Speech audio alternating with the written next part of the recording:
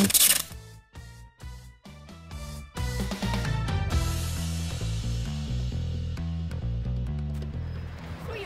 welkom op de Monstier Wekkerschool. Ik ben Marianne Mink, ik ben de directrice van de school. En ik wil jullie graag meenemen om uh, onze mooie en inspirerende school te laten zien. Kom binnen.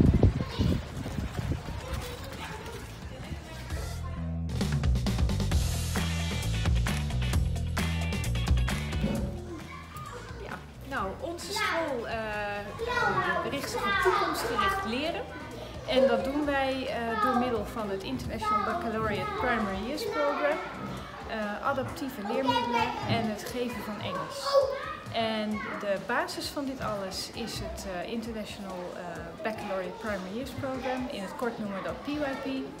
En dit richt zich helemaal op eigenaarschap en zeggenschap voor leerlingen, onderzoekend leren en burgerschap.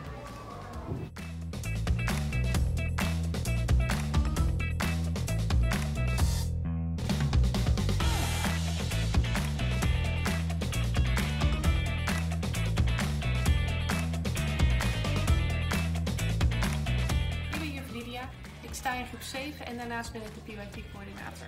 In het PYP draait het om conceptueel onderwijs. Dat wil zeggen dat we op een onderzoekende manier niet alleen maar de feitjes leren, uh, maar dat we ons voornamelijk bezighouden met het grote concept erachter. Dat we de doorgaande lijn zien. De kinderen zijn daarvan zelf eigenaar en hebben zelf de zeggenschap over hun eigen niveau en het tempo.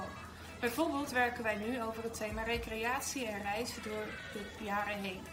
Als je daar naar kijkt, dan zie je dat we niet alleen bezig zijn met de topografie, de ouderskundige termen, maar dat we ook kijken naar wat is er nou zo specifiek veranderd en waar komt dat nou door? Wat is de oorzaak daarvan? De kinderen gaan daarnaast op zoek naar een eigen land, maken een folder, maken een vakantiebeurs bijvoorbeeld in de klas. We pakken de ideeën waar de kinderen mee komen en dat werken we uit tot een groter geheel. Een ander die doet dat bijvoorbeeld op een manier met krachten. Daar maken de kinderen proefjes en zij hebben toevallig een, uh, ook een beurs, bijvoorbeeld een science beurs. Vandaag ga ik vertellen over PYP. Um, ik vind PYP heel erg leuk. Uh, um, deze thema gaat over krachten. Krachten, bijvoorbeeld magnetisch, opwaartse kracht. En uh, wat we doen bij PYP, bij deze thema, is onze eindproject is science fair maken, oftewel een beurs.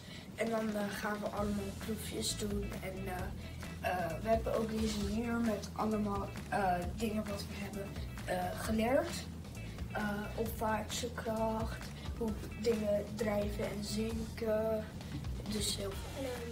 Um, we gaan het hebben over hefboomwerking.